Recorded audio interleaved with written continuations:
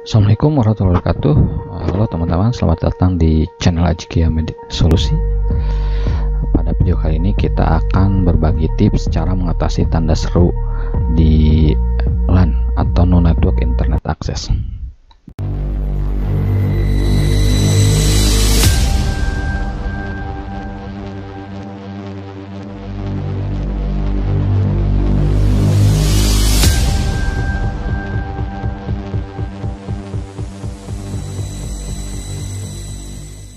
Sebagian orang di kantor-kantor terutama masih senang menggunakan kabelan sebagai media penghubung antar perangkat tertentu.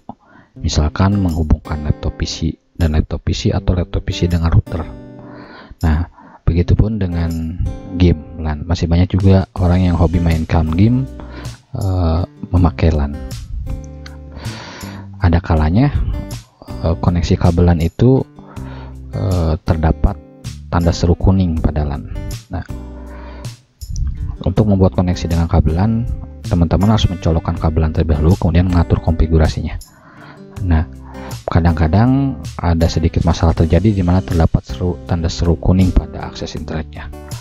Penyebabnya, menurut pengalaman kita biasanya hanya ada dua, yaitu kesalahan pengaturan jaringan, yang keduanya adalah firewall memblokir koneksi. Bagi teman-teman yang baru di channel ini silahkan tonton video-video lainnya dari kami dan jangan lupa untuk like, komen, dan subscribe untuk serta bunyikan loncengnya untuk mendapatkan video-video update lainnya dari kami. Cara memperbaiki seru pada koneksi LAN untuk memperbaikinya kita bisa fokus pada kedua penyebabnya yaitu yang satu salah uh, atur ulang koneksi dan yang kedua adalah firewallnya jika dengan catatan jika ini masalah tidak terjadi di router atau power switch yang dipakai. Yang pertama atur ulang inoksi pastikan teman-teman memakai pengaturan koneksi yang benar. Kesalahan IP sejenisnya itu akan munculkan tanda seru. Cara mengaturnya adalah teman-teman masuk ke kontrol panel ya. Kontrol panel ini. Kontrol panel eh, teman-teman masuk ke network and sharing. Mana sih? Nah ini sharing terus teman-teman uh, adapter cek klik adapter setting ya. Oke. Okay.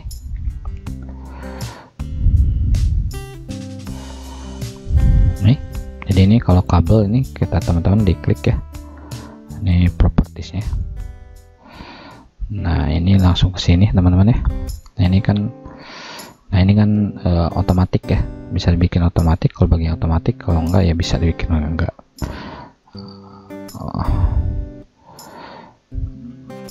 jadi silahkan diubah sesuai dengan uh, kalau teman-teman dengan segmennya teman-teman. Jadi misalkan uh, following apa IP addressnya uh, segmen berapa.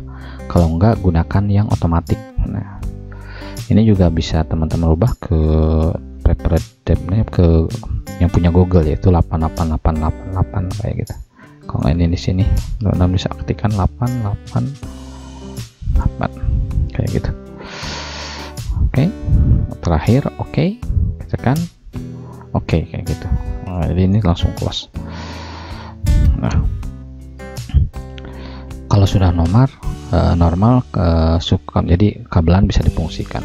Yang kedua adalah jika sudah dicek ternyata masalah tanda seru kuning itu masih belum juga teratasi berarti ada kemungkinan fitur firewallnya dari Windows memblokir koneksi kabel LAN yang teman-teman temukan Berdasarkan pengalaman, fitur firewall itu cukup sensitif dalam memblokir koneksi internet yang diberikan berbahaya di komputer.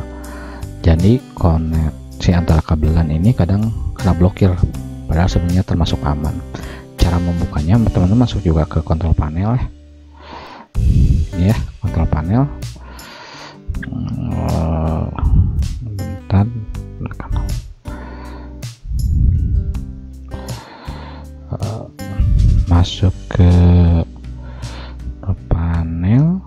Sistem sistem setting ya ini.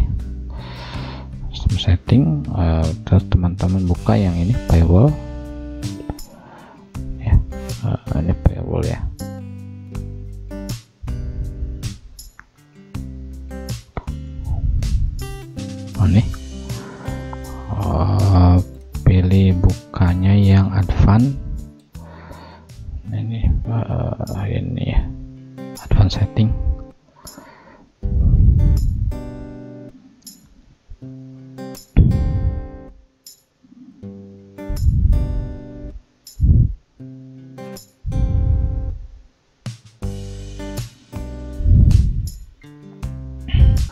ya. Nah ini turn on nah ini bisa di off kan teman-teman kayak gini. Ini setting off klik OK. Nah, oke. Okay. uh, demikian tutorial tentang cara mengatasi LAN yang error di mana terdapat tanda seru kuning yang menandakan koneksi belum terhubung. Cara di atas sering saya lakukan dan uh, dan sukses mengatasi masalah tanda seru itu. Uh, demikian mudah-mudahan bermanfaat. Semoga uh, semoga bisa mengatasi masalah teman-teman. Jangan lupa untuk like, komen, dan subscribe serta bunyikan loncengnya untuk mendapatkan video update-update lainnya dari kami. Assalamualaikum warahmatullahi wabarakatuh